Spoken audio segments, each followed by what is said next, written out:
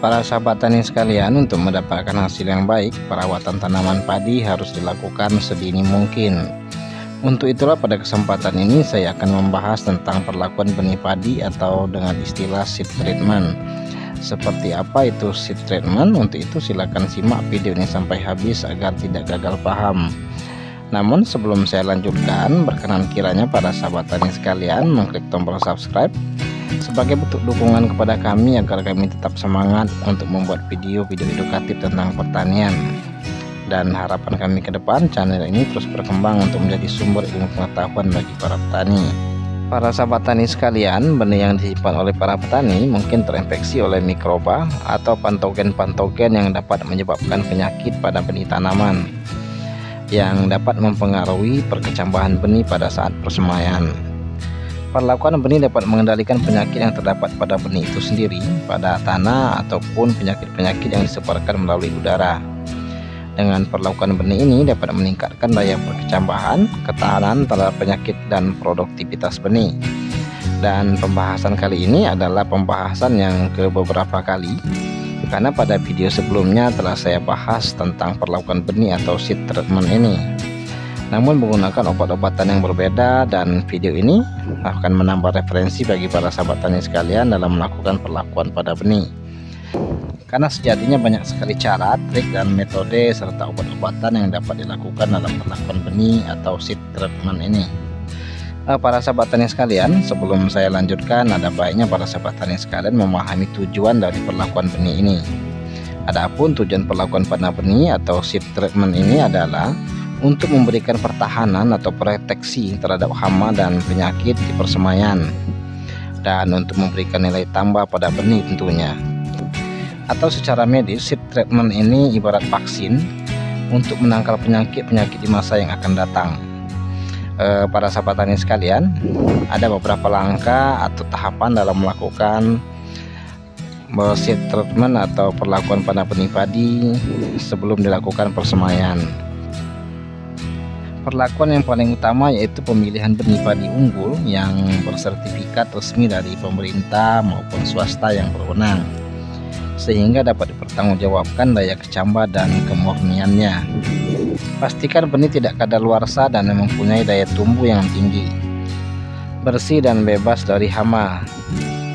Karena dengan menggunakan benih berlabel bisa meminimalkan kegagalan saat tanam. Pada kesempatan ini saya menggunakan varietas Invari IR Nutrizing yang masih berlabel biru yang merupakan bantuan dari pemerintah untuk kelompok tani kami. Perlakuan selanjutnya yaitu seleksi benih. Seleksi benih yang baik biasanya menggunakan larutan garam agar bisa mengetahui kualitas benih yang bernas dan tidak bernas. Untuk itu langkah pertama yang akan saya siapkan adalah larutan garam yang telah saya encerkan ke dalam air dengan wadah baskom dan cara seleksi benih yaitu dengan cara memisahkan benih yang mengapung dan benih yang tenggelam. Karena pada benih yang mengapung biasanya adalah benih yang tidak memiliki kualitas baik dan memiliki daya tumbuh yang rendah. E, para sahabat tani sekalian treatment berikutnya yaitu perendaman benih yang dilakukan setelah benih selesai dilakukan seleksi yang bertujuan untuk merangsang kecambah akar dan perendaman dianjurkan dengan ditambah obat-obatan pertanian sebagai proteksi benih.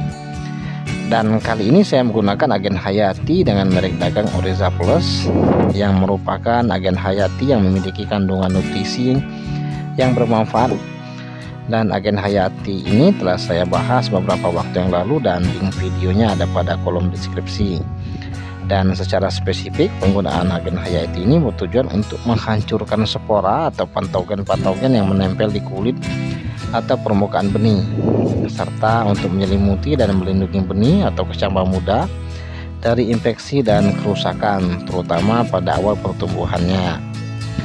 Dan perlakuan berikutnya itu perendaman benih yang dilakukan biasanya selama 2 kali 24 jam.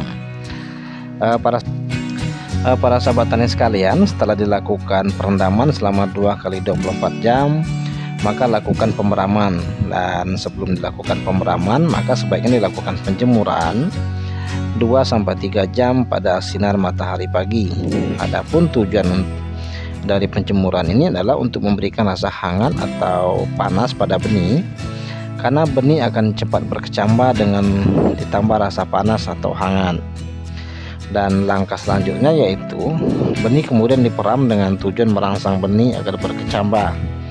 Memeram benih dilakukan selama 24 jam atau jika telah terlihat kecambah dan barulah pemeraman disudahi.